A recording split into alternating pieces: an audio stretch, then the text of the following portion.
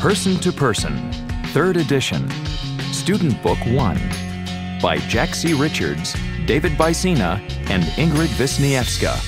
Published and copyright Oxford University Press, 2005. Unit 7, Conversation 1. Could you help me? Can I help you? Yes, please. We're looking for men's shirts. They're right over there by the escalator. Here we are. Look at this one. The color's perfect for you. Hmm, I like it too. How much is it? It's on sale for 19.98. That's a good price. But I think they only have it in large. Well, why don't we ask someone? Excuse me, could you help us? Sure. What can I do for you? Does this shirt come in medium? Yes, it does. Let's see. Here's a medium. Great.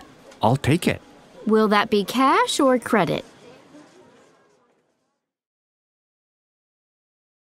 Conversation 2. This sweater is more stylish. Excuse me, could you help me? I'd like to exchange this sweater.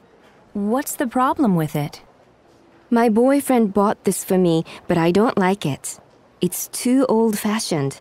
I want something more stylish. I see. Well, why don't you look around? These two sweaters are nice. Why don't you try them on?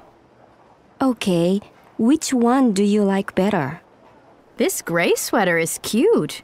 This kind of collar is very fashionable now. Really? I kind of like the black one. It's longer and looser, so I think it'll be more comfortable. Yes, but the gray one really suits you. It's more stylish than the black one. The gray one is a better quality, and it's the same price as the one you're exchanging.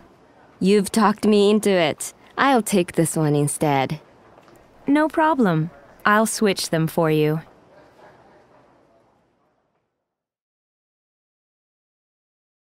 Unit 8, Conversation 1. And what would you like? Everything looks good. What are you going to have, Akimi? I think I'll have pancakes and a cup of tea. How about you? What are you having? Pancakes sound good, but I feel like having scrambled eggs. I guess we're ready to order. Excuse me. Good morning. Have you decided yet?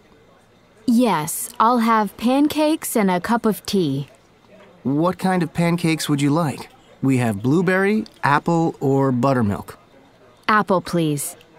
What kind of juice would you like? Tomato juice, please. Okay. And what would you like, sir? I'd like scrambled eggs. With apple juice, please.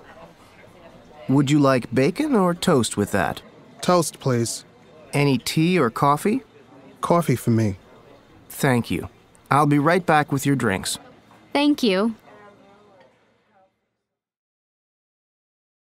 Conversation 2. Would you care for any dessert? Okay, so that's two chicken burritos and one order of nacho chips with spicy salsa. Could you tell me what gazpacho is, please? Sure, it's a spicy soup served cold. It's made from tomatoes and vegetables. Mmm, that sounds good. I'll have one of those, please. Would you like something to drink with that? Do you have any iced tea? I'm sorry, we don't. We have lemonade or soda. I'll have lemonade then. Make it two. Would you like to order a dessert now? No, thank you. We'll wait until later. You know, they have fantastic flan here. They do? Well, maybe we could split one. We'll have one flan, please. Would you like me to bring two spoons? Yes, please. That's a good idea. Unit 9, Conversation 1. Could I borrow that? What's the matter, Sunya? Can you believe this? I need to buy a birthday gift for my mother after class today, and I left my credit card at home.